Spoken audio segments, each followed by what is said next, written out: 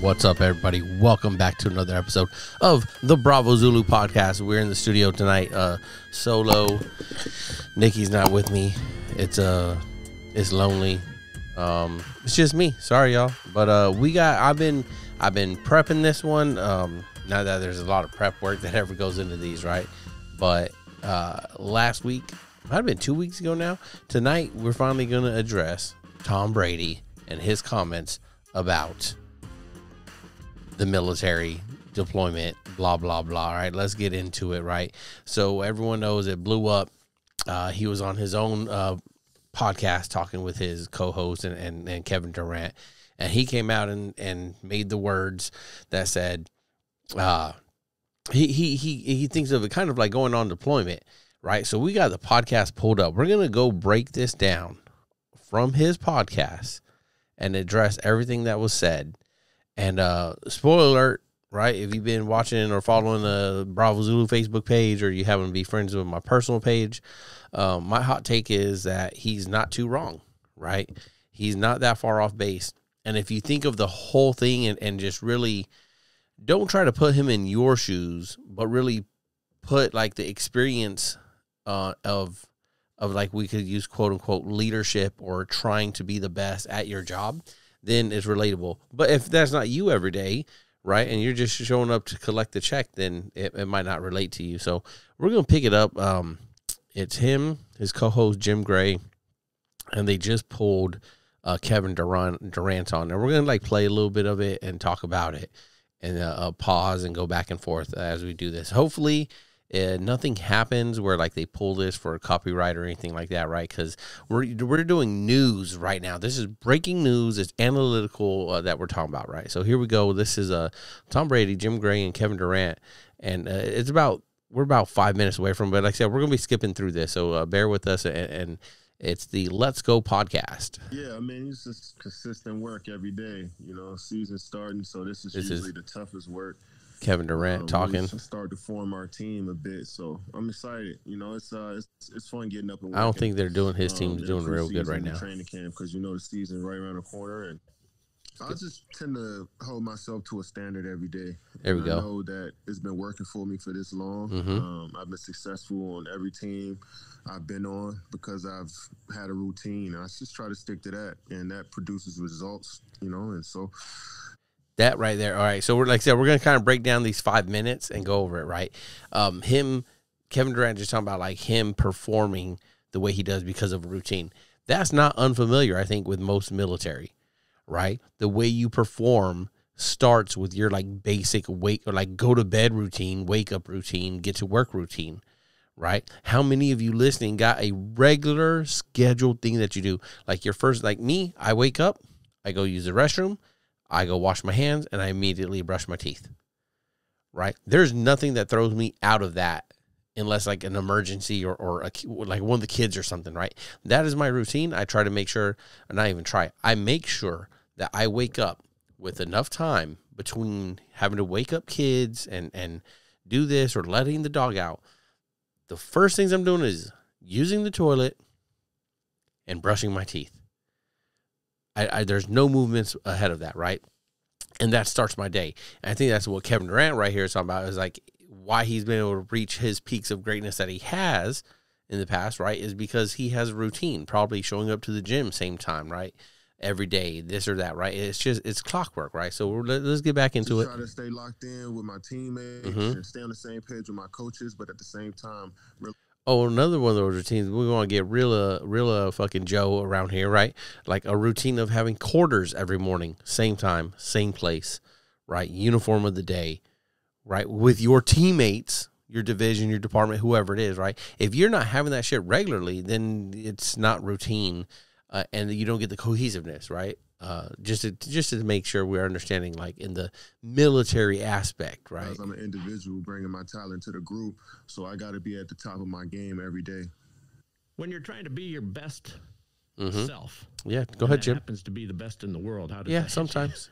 oh, it's tough. I don't look at it that way. Um, I feel like I'm mastering my craft. I want to be the best version of myself Mm. every time I step on a court. I want to be able to do everything. Do you not want to be the best version of yourself every time you step onto the deck plates there, Chief? Right? I said I could turn it up and we could go all the way Joe right now, right? Because there, it's crazy how many military were out there, right, retired and otherwise, like flaming Tom Brady for what he's about to say in the next three minutes, right? Which I get it. He's never been on deployment. It's not the same type of sacrifice. He can. Everyone's out there. He can quit anytime. Yeah, you can too. Go do some drugs. You'll quit. Right? Go uh go tell people that you want to hurt yourself. And I'm not saying in a in a realistic way. I'm saying you you can make it up. You can lie about it. Sailors do it. Right? I'm not talking about the real problems. I'm talking about sailors lie, make shit up to get out of deployment. I've heard sailors have conversations about just go get pregnant and you'll miss deployment and you could get off the ship. I've heard that from female sailors, right? To other female sailors. So there's ways to quit. It's just you don't think of it as the same because your sacrifice is a little bit different. And when he quits, it's just quitting a sport, right? And he's already got paid millions or whatever, right? So let's keep going. Basketball court. Um, so if that, you know, if the best player in the world comes with that, that's cool. But uh, I'm chasing something totally different every day. I wake up to go mm. to the gym. So yeah, it's about perfecting my craft and, and maintaining what I am and also looking for different ways to grow. Ooh, wait, didn't we just get done talking shit for like six weeks about continued growth, at least in the Navy, right? That you should never stop learning. But we're here sitting here blasting. So no one said anything about Kevin Durant, right? But this is all just lead up to to give the whole picture of their conversation, right? Tortured by perfection, like Tom, you say perfecting your craft. Do you still think you can improve? Yeah, you should be able to. Let's get forward thirty seconds. You know, I think for certain guys, and certainly KD, someone that I always look at. You know, in other sports that has the incredible determination and consistency. You know, mm. I think some people can have discipline for short periods of time. I think anyone could have a good year. Anyone could have a good mm-hmm. three or four years. Maybe. You know, that just means you have some talent and ability. I think. Mm. Good three or four years. Talent and ability could get you for a good three or four years, but what do you got after that? Right? What are you doing after that to get you to the? Let's say you a, a young young chief, young leader, right? And you you you on the that get it fast path, right? Three or four years, it's just all talent. You just smart. What are you doing after that? You know, there's people out there, 15 year chief or master chiefs. What I think there's a DC someone talks about like a nine or 10 year DC master chief. What's what are they doing for the next 10 years to get to 20? Because three or four is just talent. After that, what is it? What if they go 30? What they what would they do for the next 20? Chalk it up and go warrant or go LDO or something because they've already tapped out at the on the enlisted side? You know what I mean? So let's keep going, Tom. Players like him, you know, that you know I've been watching for a long time. It's the consistency that really sets them apart. Ooh. Obviously the consistency performance, but uh-huh. a consistent elite performance is really challenging because there's there's a lot more that goes into that than just talent. Mm. At the end, mm. a lot more goes into consistency than just talent. They, there's going to be interesting take, Tom. Interesting take. to a certain point, how great you could be year after year, and even you know, KD thinks about this. There's always someone younger, and there's always Ooh. something. You know, it's like almost. There's always someone younger. There's always someone hungrier. You're training them. You're teaching them how to beat you, right? You're giving them all the tools that you never had. I hope you are, right? You're you're old. It's not your Navy anymore, right? It's not even my fucking Navy. It's the third class that works for me. It's the first classes that I see running around trying to make chief at, at you know between ten and thirteen. It's their shit. It ain't mine. I'm on the back side of the. Uh, I'm on the back nine, going on holes fifteen to eighteen. Really, I'm like on hole eighteen here in, in two months, but like I don't mean that that's 18 years. I know there's only 18 holes. Whatever. Bad analogy. Let's keep going, Tom. music, you know, it was great to be a great rapper in 2000, but are you still I thought a great rapper horrible, in 2020? I thought it was a horrible analogy. the best album of the year, year in and year out, and are you competing for that? And I think that's just a different level of sacrifice in terms of commitment, mm. season, you know, keeping your body the way it needs to feel. And I, right. So there, okay. So a different level. There's a key word there, right? Different level of sacrifice, right? Um, when I joined in 2004, right, all the way up to 2010, 2013, right? And I was still making that sacrifice and I had all that talent and I was just running off of that. Am I still able to sacrifice those things the way I did then? Uh, like, can I sacrifice what I did then the way I do now? No, I cannot. Right. So it takes a different level of commitment and sacrifice now. Right. Right now, it takes a commitment of sacrifice away from my family because I back then I didn't have that family. Right. I had Nikki, but that was a lot more understanding. She went to work, I went to work, and we came home to each other and nothing else. Right. And if we didn't come home to each other because one had overnight work or duty or something, then that was that. We'd catch up the next time we caught up. And then when we were younger and, and a lot more, what do they call that, vigor, and, you know, fuck it. You know, if she come off a night shift, yeah, we're going to Disneyland and we're going to rage all night and we'll sleep in, uh, well, she'll sleep in the car ride and, you know, I'll, I'll sleep, I'll just grab a nap somewhere. We can't do that anymore. It's a different level of sacrifice. It's not just talent getting us by anymore, right? Let's keep it going, Tom. I think one thing about KD is I always admire him for his ability to focus on the court because nothing gets in the way of what he's trying to accomplish. Mm. And everyone Mhm. knows how competitive he is because it's his personality. You know, one thing I could say about some of the Chiefs I work with is their focus on the deck plates and that there's nothing going to get in their way. Just for an analogy sake. That's why everyone wants him on the team because he's always going to elevate the other players. So it's just an amazing trait. Mm. See, it gets and then it gets starting to get tricky though as I get Is it? older in age because Ooh. I'm starting to It's starting to get tricky as he gets older. Tell me about it, KD. experience more as a man outside Huh. of me being an athlete. So it's like What, what, where's what? Experiencing more as a, I know I'll be talking over him. You'd be like, shut the fuck up, Josh. I could hear him if you didn't talk. But experiencing more as a man as he gets older, that kind of resonates with me. Should resonate with you, whether you're a man or lady or something else, right? As you get older and you get more in your life, things start to change. balance? Like, should I still be this like? I'm always gonna be hungry, but should I still be this like every day just immersed in what I'm doing, or should I just continue to keep growing on that side? So it's just like I want to keep the balance of like work and play, uh, but at the same time, I mean, I'm just so excited to to Should he be as immersed? Should you, right? We'll say Chiefs, right? Uh, other branches pick pick probably your E seven, you know, your sen- senior NCO level, right? Should you be as immersed into it as you were when you were youthful? Because if you are, one might say you might be doing it wrong, because you might be taking it off of uh, that junior sailors plate, that junior uh, service members plate, right? Because you, you're still taking, you're so involved in it still. So how much are you starting to step back and trying to focus on that other things? Remember what he say? The work play balance, right? So now that you've done all that work and all that sacrifice as a younger sailor, right? And you you've gotten some privileges, you know, scary word.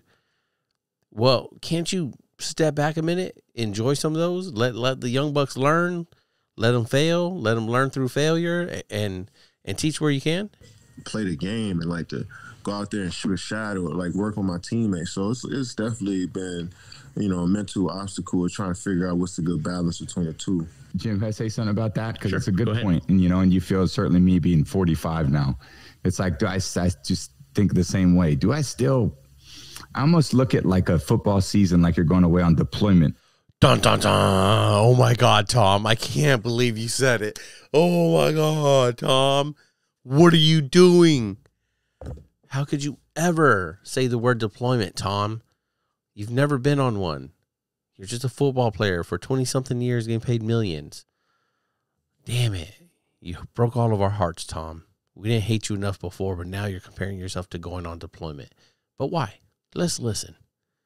Yeah, military. yeah, yeah. and it's like, man, here I go again. And there's only one way to do it. And I think, Jim, we've talked from time to time just about how do you enjoy the certain moments of it, you know? And the reality is, is you can really only be authentic to yourself, right? Whatever you may Mm. say, oh man, I want to, you know, make sure I spend a little more time doing this, you know, during the season Yeah. the reality yeah. is, is when it comes down to it, your competitiveness takes over, and as much as you want to have this playful balance with the work balance, Yeah. you're going to end up doing mm. exactly what you've always done, which is why you are who you are. You're going to go, how the f- do I get it done? Ooh, ooh, there it is. Let's go back just a little bit. I think.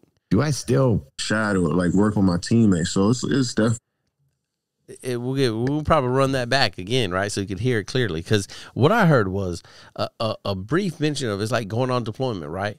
Damn, do I want to do this again? You fucking sit there and look at yourself in your own fucking black mirror, right? And you tell me you never was about to go out on deployment and thought to yourself, do I want to fucking do this again? We've all done it. We've all done it. And if you're like, nope, oh, oh I, never, I never wanted to miss a deployment. It's not that you wanted to miss it. It's just you're thinking, especially when you're at the, I'm, I'm almost 18 years, when you're later, longer in the tooth, and you've been doing it. This will be my seventh deployment. You sit there and you scratch your head and you're like, fuck, do I want to do this? Well, I have to, right? I can't quit like Tom Brady, but fucking I have to do it. But I mean, I'm pretty. I know I could probably weasel my way out of something. I could fucking do something to get my ass fucking kicked, right off the deployment. Who does that, right? You have a commitment and you show up, right? Been, you know, a mental obstacle of trying to figure out what's the good balance between the two. Jim, mm. can I say something about that? Because sure. it's a good point. And you know, and you feel certainly me being 45 now. It's like, do I, I just think the same way? Do I still I almost look at like a football season like you're going away on deployment. Yeah. military. Yeah. Yeah. And it's yeah, and uh for everyone, y'all should be in Kevin Durant's ass too, apparently, because he co-signed that shit hard. Like, man, here I go again. And here I go again. There's only one way to do it. And I think, Jim, we've talked from time to time just about how do you enjoy the certain moments of it. Come on, people. You telling me that he's not fucking like nailing it on the head? Right? He's never been on deployment, but you've never sat there before and be like, damn, do I want to do it? Because there's only one way to do it, and it's all fucking in. It's you gotta go all in for the deployment. You cannot go out there half assing it because that's how people get hurt, right? That's how bad things happen. That's how you're not on top of your game. That's how you're not taking care of sailors. That's how you're not leading. There's only one way to do it, and it's to be all in. He's just saying that's what it's like him now in his 23rd season, I think, going to go play football again. Does he really want to do it? Well, he said, yeah, fuck it. I really want to do it. And he's sacrificing his family for it. Right. And there's only one way for him to do it, and it's to be all in. Right. He couldn't just be like, okay, well, you know, um, I, I could do this work life balance because for many of us, it's hard and it, it's um, not impossible, but it's very hard. Why do you think so many y'all out there divorced? It wasn't the Navy's fault. Go back and check that episode, right? But you think that it didn't lend to it? That that you weren't able to work life balance good enough? That you weren't giving it everything you had at the job and that didn't lend to you not being able to give a little bit more back at home? Come on. You people. know, and the Come reality on. is is you can really only be authentic to yourself, right? Yeah. Whatever you may say, Oh, there you go. Authentic to yourself. What? Oh man, I want to, you know, make sure I spend a little more time doing this, you know, during the season. Mm. Yeah. The reality yeah. is, is when it comes down to it, mm. your competitiveness takes over. Mm. And as much as you want to have this playful balance with the work yeah. balance, yeah. you're going to end up doing exactly what you've always done, which is why you are who you are. You're yep. going to go, how the f- do I get it done? That's what does it for me right there, right? You're gonna do whatever you're gonna do. That's it. That's who that who you have been, right? It's not all of a sudden gonna change, right? And unless you like, and that people like, you don't go from being top notch to shitbag, right? You go from top notch. Maybe you you know, get off the pedal a little bit, right? But you don't become shitbag. You just become, you know, maybe like mediocre, high mediocre, if you will right? But when when when the push comes to shove, and you're the chief sitting there with sailors in front of your face, right, fucking looking at you for answers, you're not you're not checked out because you've never been checked out, right? So he's sitting there with players looking at him, and he's never been able to check out, and he's not checking out now. That's all. Uh, to me, that's all he's fucking saying. He's not saying he's fucking sleeping in a shitty rack like deployment He's not saying he's getting bombed at or shot at or worried about mines and fucking Chinese coming up, you know, shadowing the fucking ship. Or he's not talking about that. And you guys know he. This is what frustrates me. Oh my god, y'all know he's. That's not what he's saying. But all y'all did was read a fucking headline article like y'all read about everything else. And y'all, I'm using very general terms. If it touches your heart, please like, subscribe, and share it with someone else so it could touch their heart too. All right, give me the finger. Okay. Like y'all are tripping. Y'all man, this is the wildest thing. Like the military, we're supposed to be we we, we want to be like, oh, we we're not gonna go woke. We're, we're we need to not we need to stop going woke. So many people out there saying this shit, right? But we just want to cancel Tom Brady all of a sudden because he compared going into his 23rd season like going into a deployment, but he's never experienced a deployment. So how are we going to sit here and say it's not like it because we've never experienced going into a 23rd season, right? Yeah, we never experienced getting fucking paid millions either, so we can't relate. There's we can't relate to either one. But if you actually listen to what the fuck he's saying, in my opinion, I think there's something there that's like, oh shit, man. You know what? It's not too unsimilar. I'd be sitting there at the edge of my bed thinking, fuck, I don't want to do this. I got to do this, right? Should I do it? Do I got one more in me? Well, I have to, right? I'm contractually fucking obligated. Well, so is he, except he's got an agent and better fucking lawyers that can get him out of the contract, right? And then at the end of the day, we are who we are, and we're going to look at the problems that are around us in those situations, and and and and the good ones out there are going to look at you right now. If you you know you if you a good one or not, and what are you doing? You saying, how the fuck do I get this done? Right? How do I get this done? There's a problem in front of you, you and that's who you saying that.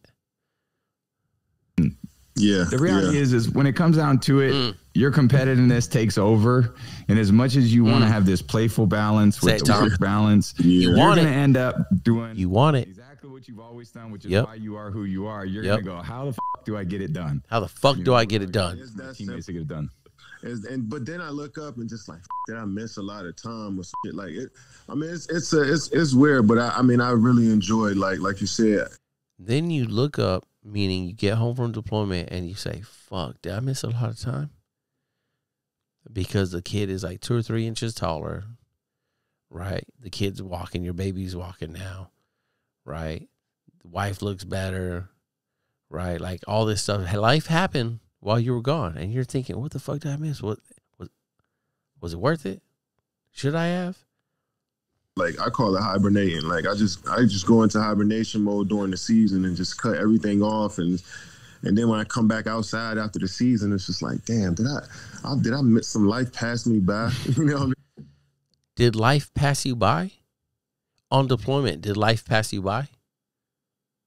Yeah, life passes you by on deployment right? No matter how many emails and text messages and coffee shop phone calls you make, life is back here, wherever you're at, wherever you left, and it's passing you by, and you're not there, and kids remember it, right? And they grow up with mommy and daddy issues about it, right? Like, let's see what else but, they say. I think I, mean, I guess it's a fun battle to go through, and that's what we love. That's why we love to do what we do. Absolutely, Tom. You study this quite closely. Um, uh, There's not one person that I think you can go through, and you know when you certainly when I look. I think that's about it for the for for his podcast, right? I think we got the gist of what he was what he was saying, or or we got the actual from the horse's mouth, right? And I'm just saying, like he is. Just ask yourself after you listen to that, like just really think about like is he that far off about how you have felt through your career about going on deployment? why can't he feel that way about just going into a season? Is, is it only because he used deployment and, and he's never served and never been on deployment, so it makes you feel some kind of way? But if you break it down like I just broke it down for you, can you see some of the similarities maybe? Right? Or is that just because he's a sports ball player getting paid millions that no, he shouldn't even fucking say the word deployment? You know, fuck him. Can't even sniff at the word. And, and in fact, he should go do USO tours when he retires until his fucking death to make up for it for all the service members forever thinking that going into a season is comparable to a deployment. Right? I mean, you tell me. Let me know in the comments down below on the YouTube. Let me know. Uh, you could drop me an email. You could leave comments on Spotify if that's where you're listening. And if you're on Apple, leave me a review. Five stars is greatly appreciated. Anything else, you know, DM me. Let me know on the side. Don't give me anything less than five stars. All jokes. All right. kind of. Don't leave me five stars unless you really think so. If not, cool. Um, just think about it, people. Come on.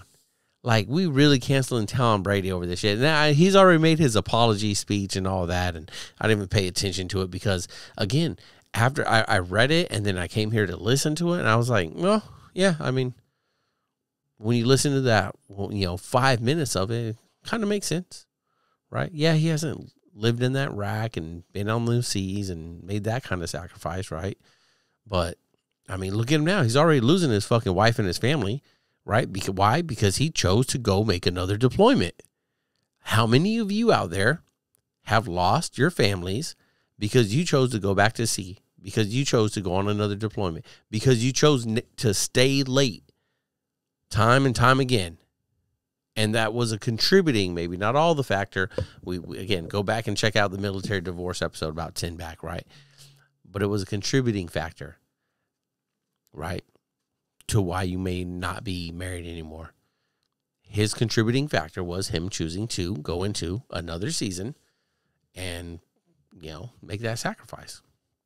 It's all choices it's, it's your own right but anyways, uh, other than that, yo, thanks for tuning in. Again, uh, we'll have some new uh, podcasts coming up, and don't forget, you know, for more information on how you can support the podcast, please visit us at anchor.fm backslash Bravo Zulu podcast. The information, views, and opinions expressed in this podcast are solely of myself, Joshua Moore, and the individuals involved and do not necessarily represent the DoD, DON, or those of the respected institutions or organizations. And we out.